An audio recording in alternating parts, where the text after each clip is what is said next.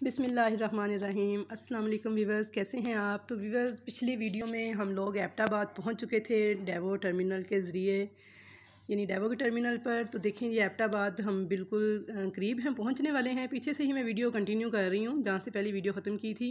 कि एबटाबाद पहुँचे, वहाँ पर हमने नाश्ता किया। नाश्ता करने के बाद हमें ठंडियानी की तरफ़ जाना था। तो चलें, मैं आपके साथ शेयर करती हूँ ये सारी वीडियो। बहुत मज़ा आएगा आपको देख के।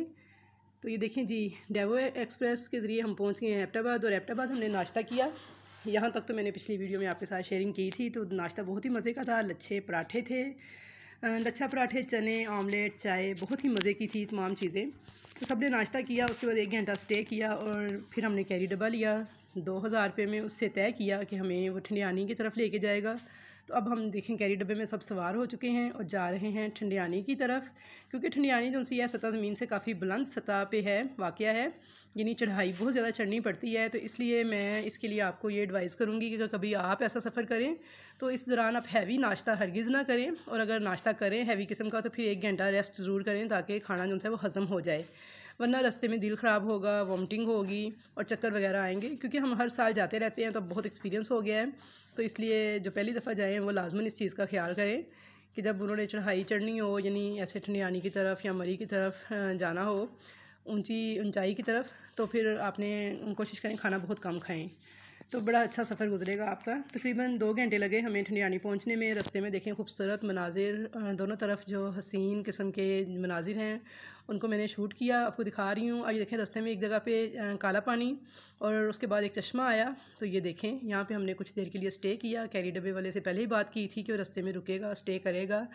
तो ये देखें जी, इस बहुत ही शफाफ चश्मा था, पहाड़ी से देखें, ये ऊपर की तरफ़ से आ रहा था, नीचे। और बहुत ही ठंडा पानी था इसका। इस पानी में जब हमने पाँव रखे तो ऐसे ही लगा जैसे हमारे पाँव सुन्न हो जाएँगे। यानी जैसे किसी बर्फ़ के ब्लाक पे पाँव रखते हैं ना, इतना ठंडा इस चश्मे का पानी था। लेकिन बच्चों ने बड़ा इन्जॉय किया, बहुत ही मज़ा आया इस चश्मे के पानी में। बच्चों ने कुछ देर खेले पाउंड सबने अंदर डुबोए फ़ोटोग्राफी की वीडियोस बनाई। मैंने भी कुछ वीडियोस शूट की अपने व्लॉग के लिए। तो बहुत ही ज़बरदस्त किस्म का ये मंज़र था और बहुत ही ज़बरदस्त किस्म की ये मनाजिर थे। इन सबको देख के अल्लाह की कुदरत याद आ रही थी कि बेशक अल्लाह सुबहाना ताला की कुदरत जो सी है वो लामहदूद है और उसने हमारे देखने के लिए इंजॉय करने के लिए, फ़ायदे के लिए कैसी कैसी हसीन वादियाँ कितने कितने खूबसूरत चश्मे जारी किए हैं। तो बेशक अल्लाह अज़ीम है, वो अज़ीम तर है।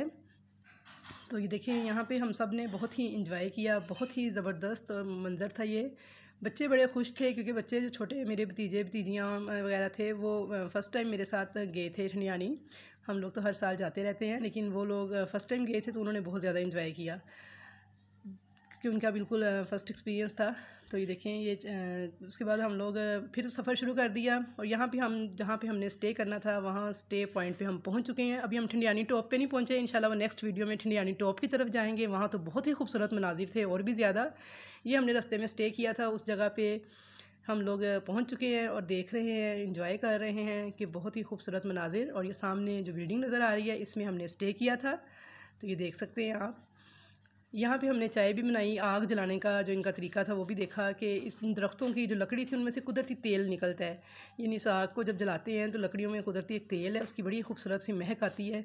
तो ये देखें जी, हम पहुँच चुके हैं अपनी मंजिल पर जहाँ पर हमने रात को स्टे करना था और फिर अगले दिन हमने ठंडियानी टॉप की तरफ़ सफ़र करना था। तो इन नेक्स्ट वीडियो में आपको ठंडियानी टॉप की तरफ़ जो रेस्ट हाउस है वो भी सारा और बाकी सारा सफ़र भी आपके साथ शेयर करूँगी। तो बहुत इन्जॉय करेंगे आप। बहुत ही मज़ा आएगा मेरे साथ रहिएगा।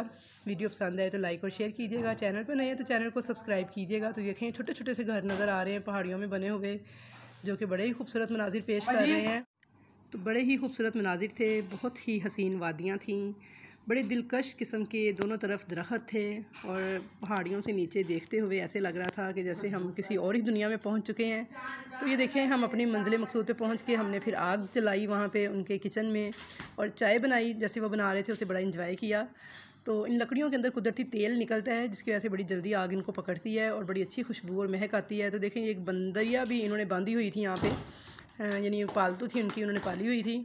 बच्चों ने देखें इसे ब्रेड और जो कुछ उनके पास था, सब कुछ उसे खिला खिला के खूब इंटरटेन किया। और बहुत ही ज़बरदस्त किस्म के बच्चों ने पिक्चर्स भी बनाई, देखें बंदरिया खाना खा रही है। इन नेक्स्ट वीडियो में मैं आपको ठंडियानी टॉप की तरफ़, जो कि बहुत ही ज़बरदस्त वीडियो है, जिसमें हम रेस्ट हाउस और वहाँ पे पाकिस्तान टेली कम्युनिकेशन का जो टावर है, वो भी सारा कुछ विज़िट करवाऊँगी। तो नेक्स्ट वीडियो देखिएगा इन ठंडियानी टॉप आप बहुत ज़्यादा इंजॉय करेंगे। अल्लाह हाफिज़। हाफिज़